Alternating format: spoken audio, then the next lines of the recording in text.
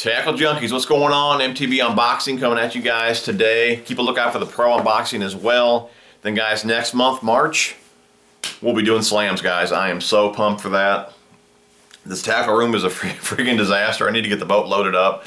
All my gear came in, super pumped for that. For, for those of you that don't know, this channel is now sponsored by Okuma. Check that out, guys. I even got into the swim bait game. I got the Komodo here.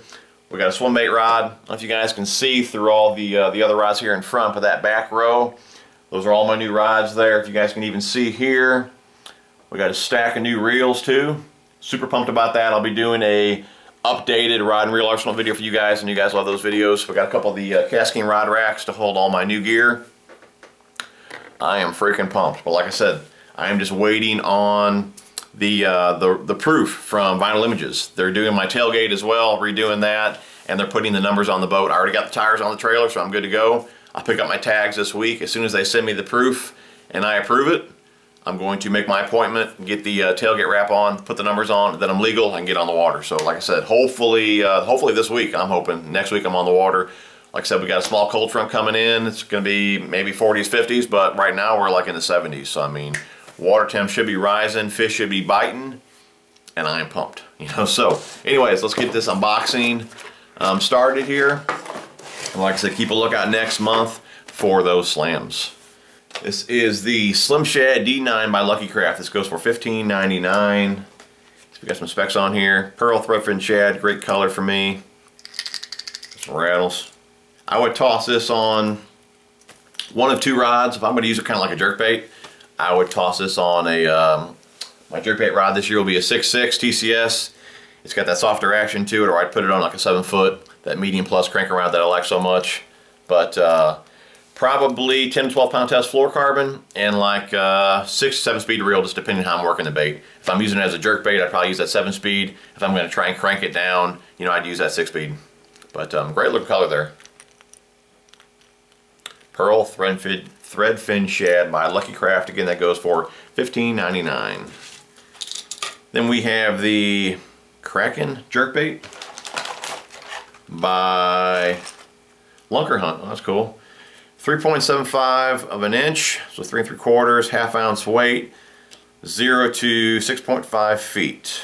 Floating, it's got erratic action to it. Kind of looks like uh, colors make it rain. I would say kind of like a baby bass type pattern. There it is there in the package. That goes for $3.99. That's pretty cheap for a jerkbait. There's there in the package. I will throw this on that 6.6 crankbait jerkbait rod, 7-speed reel, and probably uh, 10, 12 pound test fluorocarbon. Mono if I wanted to stay just a little bit shallower. And even then, you can use your line to adjust your depth if you want to run really shallow. Like I said, I think it goes to uh, six and a half feet. If you want it to run just a few foot, you know, put on, you know, 15, 20 pound mono. You can do the same with fluorocarbon. It's a sinking line, but still, if you use a higher pound test, it'll still stay shallower. Just all depends what you want to do with the bait. This one sounds like it's got rattles, which it does. Nice looking bait. Kind of hard to believe it's only uh, four bucks.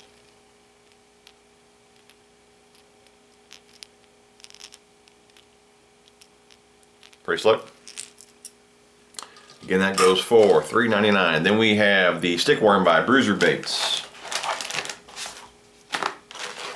Looks like a watermelon red color. This is a one, two, four pack for $2.15. They're just there in the package. Stick baits, I mean, typically I just rig them weightless, just pitch them around, you know, lay downs and then brush, things like that. And you can put a stick bait on a, shaky head, you can cut it down, put it on a Ned rig. I mean, me personally, just going to be um, just a Texas rig, pitch it around. Now this one really seems really light. You may want a small sinker on the front of your um, your hook there. I probably use like a four to five aught extra wide gap hook Maybe uh, use like a 16th ounce to an 8th ounce uh, tungsten weight, watermelon red, and like I said, just pitch that around, uh, lay downs, brush, grass, things like that. Wacky rig obviously is great for stick bait as well. I don't do a ton of wacky rigging. I personally would just Texas rig this and pitch it around, but great wacky rig uh, bait as well. I'd put that on Uh, if you're going really light, you know, you may need uh, some spinning gear, you know, medium light to a medium power. Uh, you know, anywhere from, again, it depends what you're doing the bait, if you're going wacky rig and all that, maybe anywhere from 8 to 12 pound test, depending what you're doing with it. Um, you know, if I'm going to Texas rig this, I'd put this on probably 7 foot medium heavy. I'd probably run a 12 pound test, 12 to 15 pound test. You know, Seaguar, you, you to think, Seaguar has that small diameter to it, so you can get away with heavier pound test line. And 15 is pretty small, so 12 to 15 pound test fluorocarbon, probably, you know, eighth ounce weight or so. And um, like I said, just pitch that around. You know, six speed, seven speed reel. But many different rigging options for stick bait.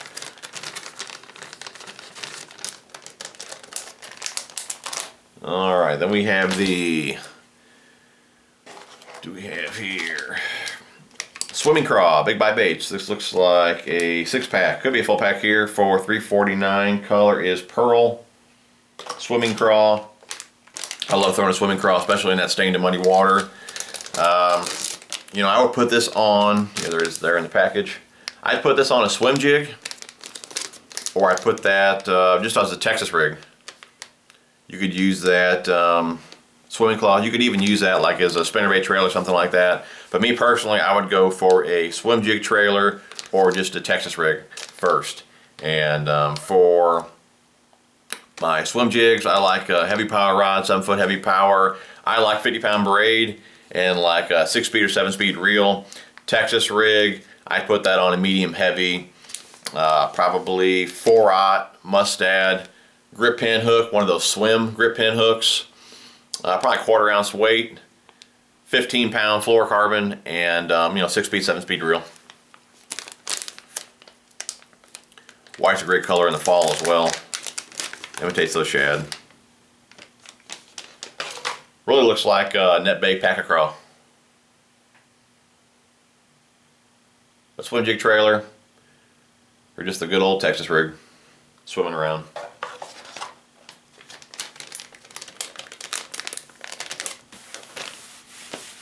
And last up we have the KVD triple grip hooks. This goes for $2.99. This looks like a three pack, size six. Size six is what I like to use for the um, bomber square Now if you leave the stocks, the, uh, I've talked about this in many other videos, if you leave the stock split rings, size 6 will tangle on a bomber square A, so I like to downsize those split rings to a size 2 and then upsize my hooks to the size 6 short shanks. This appears to be a short shank.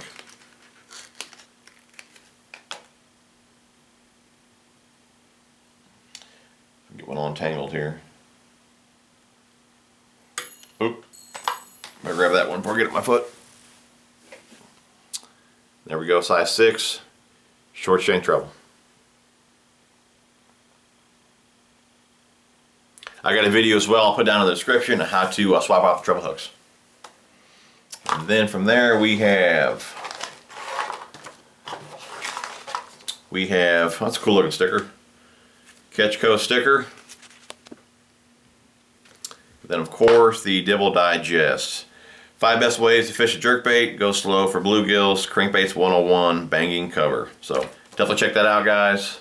Hope you guys enjoyed the video. Keep a lookout for the Pro unboxing, and then keep a lookout next month for those MTB slams. Hope you guys liked the video. If you did, give me a thumbs up. Thanks for watching, guys. We'll talk to you soon.